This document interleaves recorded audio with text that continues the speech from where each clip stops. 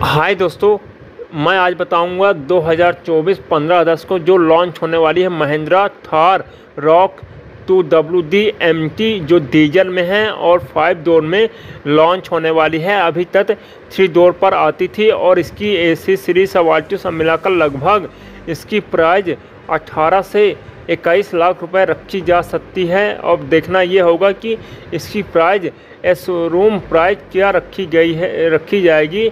और दोस्तों, आप लोग चैनल को सब्सक्राइब नहीं किए हैं, ज़रूर सब्सक्राइब करें।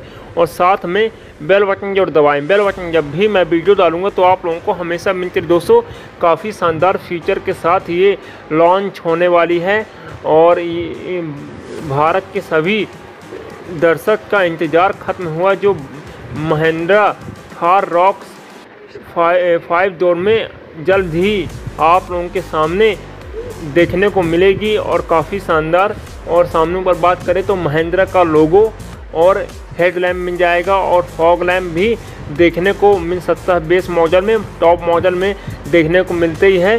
शायद बेस मॉडल में भी देखा जा सकता है और संभावना है और सामने दो वाइपर, वाशर और काफ़ी शानदार लुक सामने देखने को नज़र आ रहा है और चारों तरफ़ से भी देखने में काफ़ी शानदार इसकी डिज़ाइन की गई है और फाइव डोर में सामने आएगी और इसकी लंबाई की बात करें तो लगभग चार हज़ार से लेकर बयालीस सौ एम mm में देखने को मिल सकती है और इसकी वेट की बात करें तो उन्नीस सौ लेकर इक्कीस सौ तक एम mm में देखने को मिल सकती है और हाइट इसकी उन्नीस सौ से लेकर बाईस सौ तक लगभग देखने को मिल सकती है और काफ़ी शानदार और इसमें काफ़ी शानदार फीचर के साथ ये जल्द ही लॉन्च होने वाली है।